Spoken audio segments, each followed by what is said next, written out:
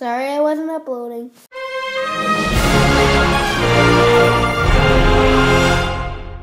So guys, that was my new intro. Uh, I wasn't uploading because I had camp. If you guys like for my new intro, tell me if you like my new intro or you want me to put it back. Because many people have been telling me that my intro is annoying. I certainly agree. I just wanted to put an intro in there that was sort of funny, but I guess this one's better. Tell me, comment down below which one you want. Uh, I, I'm sorry about the bad graphics while I made it. Wasn't like that.